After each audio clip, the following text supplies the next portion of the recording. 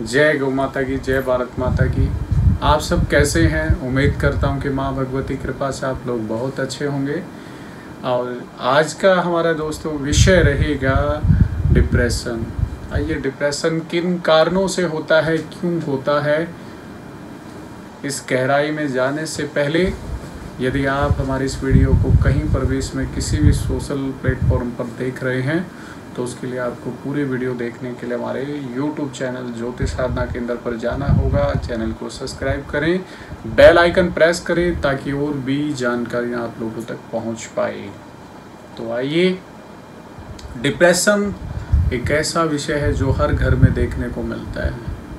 कारण भले ही कोई ना कोई होता है, लेकिन जो डिप्रेशन की ग्रह स्थितियों में क्या कारण होते हैं, वजह तो इसकी हज़ारों होती हैं दोस्तों। हमारे घर की स्थितियाँ भी इसमें बड़ा मायने रखती हैं।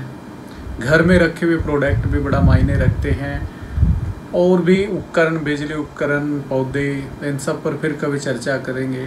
तो आज की चर्चा का जो मुख्य विषय रहेगा, वो रहेगा चंद्रमा को लेके, क्योंकि जो मन है हमारा अक्सर ऐसी स्थितियों में भ्रमित की स्थिति को पैदा कर देता है, जिससे हम एक ही विषय पर अत्यधिक मात्रा में सोचने लग जाते हैं। क्यों होता है, किस लिए होता है, इन सब बातों का चंद्रमा पर, चंद्रमा का हमारी कुंडली में बड़ा अहम रोल लगता है। एक तो कुंडली में यदि विष योग हो, विष योग का अर्थ है कि यदि चंद्रमा के साथ शनि कुंडली में कहीं पर भी उपस्थित हो जाए तो दोस्तों ये बड़ा घातक सिद्ध होता है। जिस इंसान की कुंडली में चंद्रमा के साथ शनि बैठ जाता है, वो इंसान खुद की एक अपनी दुनिया बना बैठता है। उस दुनिया में वो खुद का वकील भी स्वयं होता है, खुद का जज भी खुद होता है और मुजरिम भी खुद होता है। ऐसी परिस्थितियों को पैदा करके बैठ जाता है जिस, जिन परिस्थितियों को दूर कर पाना बड़ा ही मुश्किल होता है। उसको समझा पाना बड़ा मुश्किल होता है खासकर तो परिवार के लिए। क्योंकि काल्पनिक दुनिया का जो काल्पनिक दुनिया है, कल्पना जो जब मानसिक स्तर में उत्पन्न होती है तो दोस्तों, इसका कोई सोल्यूशन नहीं होता है। जब तक उस समस्या की गहराई में ना जाया जाए, जो कल्पना उसने अपने मन में, अपने ब्रेन में उत्पन्न की है। और ये इंसान के लिए कई बार जो इतनी घातक सिद्ध होती है कि इंसान को ये सुसाइड तक के पॉइंट पर ले जाती है। क्योंकि जब आप खुद के स्वयं की कल्पना की दुनिया बना लेते हैं और उस दुनिया में आप खुद के ही सलाहकार स्वयं बन जाते हैं। खुद के सलाहकार स्वयं बन जाते हैं, समस्याएँ खुद उत्पन्न करते हैं, जज, वकील, मुजरिम और सलाहकार भी स्वयं ही बन जाते हैं। तो उस समस्या का सलूशन आपके लिए निकाल पाना बड़ा ही मुश्किल होता है। तो ऐसे इंसान अक्सर क्या कर बैठते हैं? डिप्रेशन में, क्योंकि जब चारों रास्ते बंद हो जाते हैं तो वो लोग सुसाइड की तरफ़ जाने का जो है प्रयास करते हैं। चंद्रमा और शनि का मेल जो होता है विश्व योग की स्थिति को पैदा कर देता है। ये किसी के साथ भी रिश्ते जो है ठीक नहीं रह पाते हैं। वो चाहे माँ है, चाहे वो पिता है, चाहे वो पत्नी है चाहे बच्चे हैं, सभी के साथ ऐसा इंसान रिश्ते बिगाड़ कर बैठ जाता है। क्योंकि वो इंसान किसी की सुनता नहीं है। एक तो दोस्तों, इसमें क्रोध की जो सीमा स्थिति है बहुत ज़्यादा बढ़ जाती है। ऐसे इंसानों का जो क्रोध है ना, वो इतना ज़्यादा बढ़ जाता है कि वो अपनी बात का स्पष्टीकरण ही नहीं होने देते हैं। यदि परिवार में उसकी गलतियों को रख कर उस पर यदि चर्चा भी की जाती है तो क्रोध उस इंसान का इतना ज़्यादा बढ़ जाता है कि उस बात की गहराई तक तो जाने ही किसी को नहीं देता है।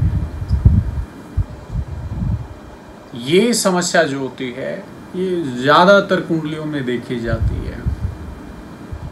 क्योंकि चंद्रमा जो है, ढाई दिन के बाद अपने स्थान को बदल देता है। तो ढाई दिन के बाद जो है, स्थान बदलने का कारण क्या है? कि चंद्रमा का शनि के साथ बहुत जल्दी मेल होना जितना जल्दी शनि के साथ चंद्रमा का मेल होगा, उतना ही जल्दी ये स्थिति कुंडलियों में, अर्थात जिस दिन शनि चंद्रमा के साथ होगा, उस दिन जो है, ये योग ज़रूर बनेगा। अब इस योग के निवारणों के ऊपर तो हम बाद में बात करेंगे। आज जो है हम इसी विषय पर और ज़्यादा गहराई में जाने का प्रयास करेंगे। तो डिप्रेशन से बचने के लिए इंसान को क्या करना चाहिए? चंद्रमा को जितना ज़्यादा आप जो है प्रभावित करेंगे। प्रभावित किस प्रकार से? कि आपकी जो स्थितियाँ हैं, आप वातावरण कैसा रखते हैं, आप परिवार का वातावरण कैसा बनाते हैं, माहौल कैसा बनाते हैं, वो आपके चंद्रमा पर बड़ा प्रभाव डालता है। आप पानी का प्रयोग कितना करते हैं? और पानी का प्रयोग आप किस प्रकार से करते हैं? पानी ज़्यादा वेस्ट तो नहीं करते हैं। जिस घर में चंद्रमा ज़्यादा प्रभाव डालता है, दुष्प्रभाव चंद्रमा के उस घर में ज़्यादा देखने को मिलते हैं, जिस घर में पानी की बर्बादी ज़्यादा होती है। अर्थात पानी जिस घर में ज़्यादा बर्बाद होता है, वहाँ पर चंद्रमा के दुष्प्रभाव ज़्यादा देखने को मिलते हैं। या दूध का बार बार जो है घर में गर्म करते समय गैस पर रखे हुए चू, गैस के ऊपर रखे हुए बर्तन से दूध गर्म करते समय बार बार दूध का निकलना, ये भी कहीं ना कहीं हमारे डिप्रेशन का कारण बनता है। तो दोस्तों, इन सब स्थितियों का हमें बड़ा ध्यान रखना चाहिए यदि हम डिप्रेशन से बचना चाहते हैं और खासकर उन पर्सनों से भी दूर रहना चाहिए जिनके कारण हमारा डिप्रेशन बढ़ता है। रिश्ता भले ही कोई हो कोई हो, उस इंसान से जो है बातचीत कम करें, क्योंकि आपका चंद्रमा आपकी कुंडली में यदि द्वादश भाव में उपस्थित है, अष्टम भाव में स्थित है, अर्थात चंद्रमा वृश्चिक राशि का, यदि शत्रु राशि का चंद्रमा है तो आपके सामने ज़्यादातर परिस्थितियाँ वही उत्पन्न होंगी जो आपको डिप्रेशन देंगी और रात को जगाएँगी। अर्थात ऐसी स्थितियाँ कई बार जो है सिर में अत्यधिक सिर में अत्यधिक दर्द भी बढ़ा देती हैं। क्योंकि सोचना काल्पनिक दुनिया का एक हिस्सा बन जाता है। वो इंसान जो है सोचता अत्यधिक है, जो खुद की एक दुनिया बना बैठता है। उस कल्पना की दुनिया में उस इंसान को सब कुछ सही अपने अनुसार लगता है। वो इंसान चाहकर भी गलत को गलत नहीं कह सकता है। चाहकर भी वो गलत को गलत इसलिए नहीं कह सकता, या तो उसकी कुंडली में विष योग है, या फिर चंद्रमा द्वादश भाव में है, या फिर वृश्चिक अर्थात शत्रु राशि का चंद्रमा उपस्थित है। तो इसमें सबसे ज़्यादा तो बेहतर क्या रहता है दोस्तों? कि जब इस तरह की स्थितियाँ बन जाती है, इस तरह की जो घटनाएँ ज़्यादातर जीवन में जब देखने को मिल जाएँ, कि आप किसी बात पर, किसी विषय पर, यदि आप बार बार एक ही बात पर, आपका माइंड बार बार जा रहा है, आप उसी विषय पर बार बार सोच रहे हैं बार बार उसी पर बातें कर रहे हैं, या आपके परिवार का कोई ऐसा सदस्य हो सकता है तो तुरंत उसकी किसी अच्छी विशेषज्ञ से आप उसकी कुंडली का विश्लेषण करवाएँ और जो कारण क्या है, उस कारण को जानने का प्रयास करें। ऐसे इंसानों को दूर के समझ चाहूँगा मैं शब्दों के लिए, ऐसे इंसानों के लिए आप लोग उनसे दूरी न बनाएँ, क्योंकि वही दूरी कल उनकी मृत्यु का कारण भी बन सकती है। वही नफरत, वही एलर्जी कल उनके लिए, उनका जीवन त्यागने का कारण भी बन सकती है। तो दोस्तों, ऐसी स्थिति में ऐसे इंसान यदि आपके इर्द गिर्द है या स्वयं भी यदि आप इस तरह की स्थितियों से प्रभावित हैं तो आप समस्या तक जाइएगा, समाधान तक पहुँचने का प्रयास मत करिएगा, क्योंकि इस समस्या में जानने का प्रयास सर्वप्रथम बनता है। समाधान तो सिर्फ़ एक ही लगता है कि जब इस तरह की स्थितियाँ बनती है कि हम लोग जीवन का अंत कर लेते हैं, वही शायद समाधान है, क्योंकि चंद्रमा का ऐसा प्रभाव अक्सर जो है, लोगों को प्रभावित करता है और समाधान उनको अंत में केवल यही लगता है। परंतु दोस्तों, ये समस्याओं का हल नहीं है। आप पहले इस समस्या को जानिएगा, फिर किसी अच्छे विशेषज्ञ से इसका समाधान भी जानने का प्रयास कीजिएगा। रात्रि में दूध ना पीजिएगा। और दोस्तों, यदि आप चंद्रमा को मज़बूत करना चाहते हैं, अंत में मैं आपको एक सुंदर सा एक उपाय बताना चाहूँगा। कि आप जब डिप्रेशन की दुनिया में आप चले जाते हैं, अत्यधिक मात्रा में आप सोचना शुरू कर देते हैं तो सर्वप्रथम आप अपने खाने का तरीका बदलिएगा। खाना जो है, ज़्यादा रात्रि में न खाएँ।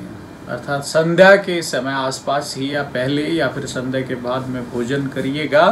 और समय पर सोने का प्रयास करिएगा। हालाँकि आपको नींद नहीं आएगी, परंतु आप प्रयास ज़रूर करिएगा। और प्रयास क्या है दोस्तों? कोई वो मेडिसिन नहीं है, कोई दवाई नहीं है। उसका सबसे अच्छा उपाय क्या है कि जब आप खाना खा लेते हैं तो आधा से पौन घंटा भ्रमण कीजिएगा और अपने बिस्तर पर जाकर गायत्री मंत्र का उच्चारण करिएगा। जी हाँ गायत्री मंत्र इतनी ज़्यादा सामर्थ्य रखता है, इतना ज़्यादा प्रभाव रखता है कि नौ के नौ ग्रह भी इस मंत्र के सामने नतमस्तक होते हैं।